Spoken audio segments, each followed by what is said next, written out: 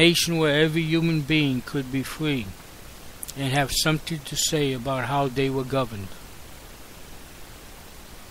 But not only did the Patriots win their freedom, but at the Treaty of Paris in 1783, the U.S. territory doubled in size as Britain gave the new nation all of the land to the east of the Mississippi River. And though many signers of that great declaration paid a high price, others reaped a great reward. Two of the signers became presidents. Ten became U.S. congressmen. Nineteen judges. Sixteen became governors. And dozens of others held other high political office, not to mention the enduring place they hold in our history. The Patriots, they made the pledge, paid the price, and reaped the rewards. Freedom, a new land, new country, a bright future, a new beginning. And now, a sharp break with After the Rain by Gord Lang.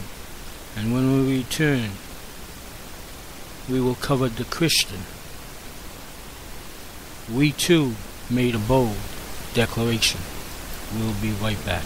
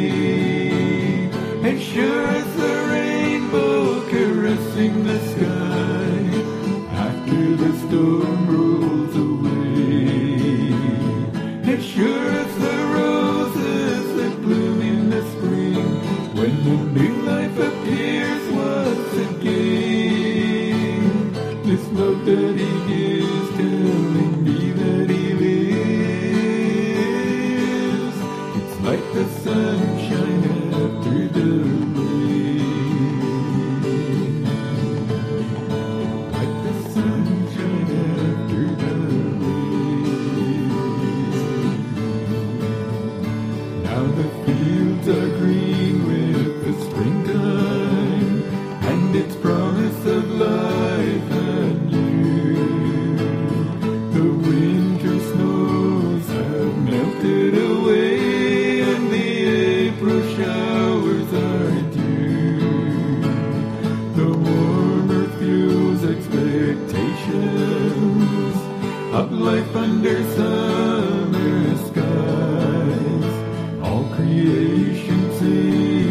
the hope that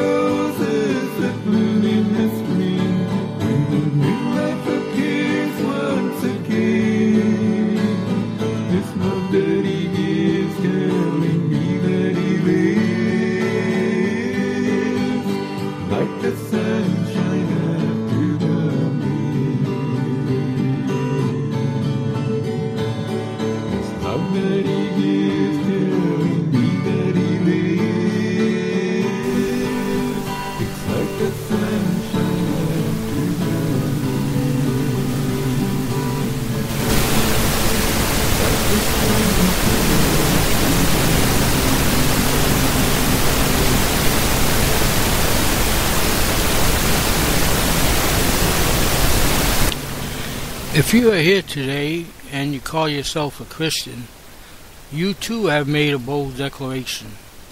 I hope you realize what a commitment you have made.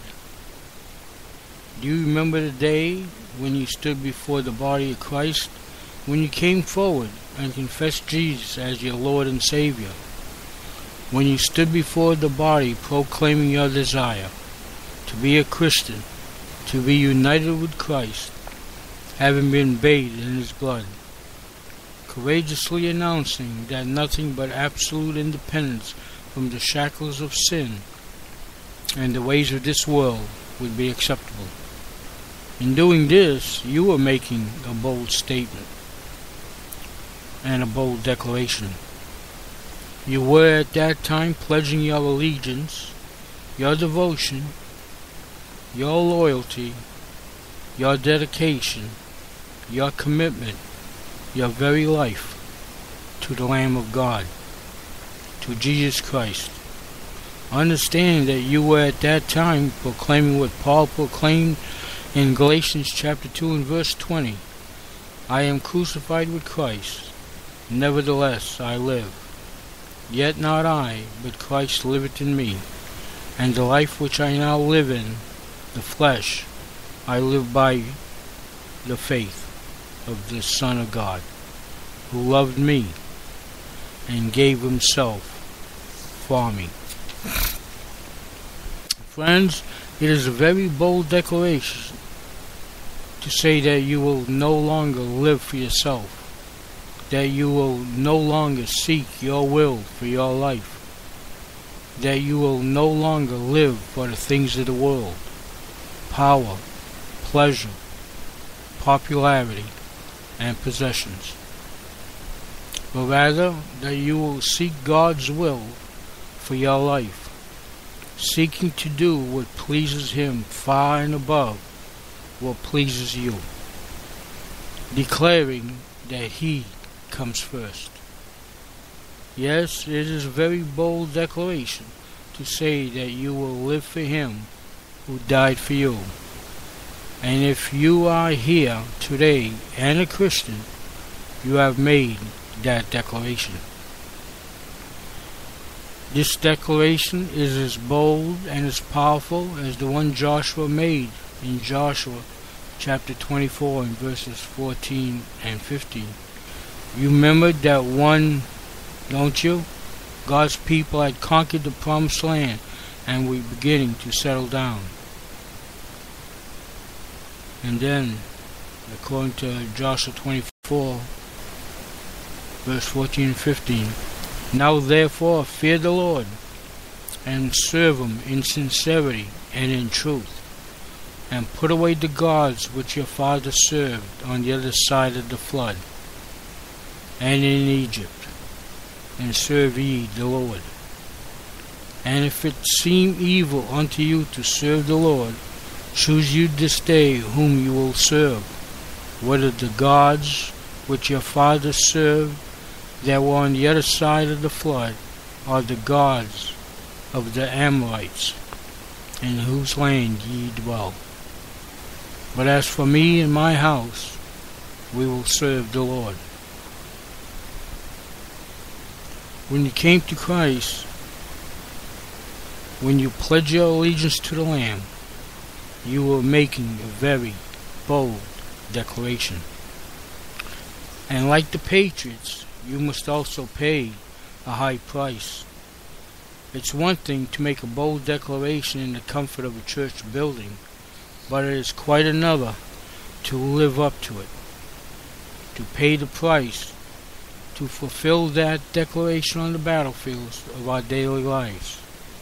Most times, saying words is the easy part. The actions are much tougher. You know, on that day when Joshua made his bold declaration, he was not alone. Others also did. They said the same words within the comfort of the assembly.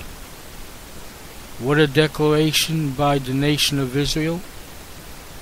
They were pledging their allegiance to God, but tragically, it didn't last long.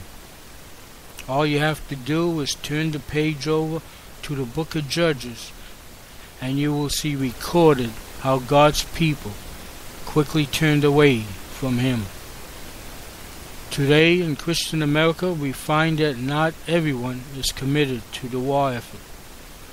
Not everyone who claimed Jesus as their Lord one day in the assembly has lived up to it in their daily lives.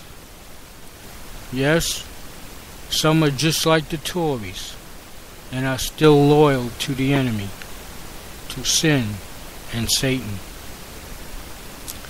The final reason our war is hard is because others are like that one third of the colonists who are unconcerned about the outcome of the war. They are indifferent. They are uninvolved. Now they may not directly hinder the war effort, and they will certainly want to take part in any benefits, but they will not join in. They will not leave their comfort and safety. They simply watch and critique from the sidelines. Let's make no mistake about it. There is a high price to pay to fulfill our declaration that Jesus is our Lord. Our Lord demands total, radical, unswerving allegiance, and this is no secret. Jesus made this clear to us when he walked the earth. In Luke chapter 9, verse 23 to 26, and he said to them all, If any man will come after me, let him deny himself, and take up his cross daily, and follow me. For whosoever will save his life shall lose it. But whosoever will lose his life for my sake, the same shall save it. For what is a man advantaged if he gains the whole world and loses himself, or be cast away?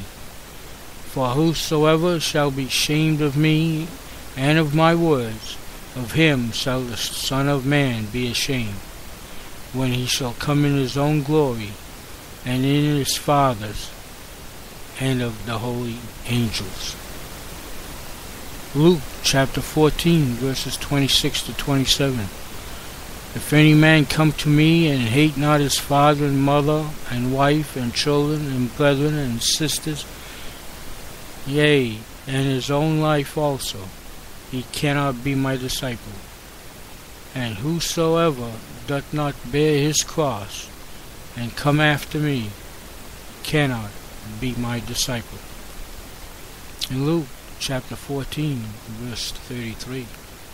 So likewise, whosoever he be of you that forsaketh and not all that he had, he cannot be my disciple.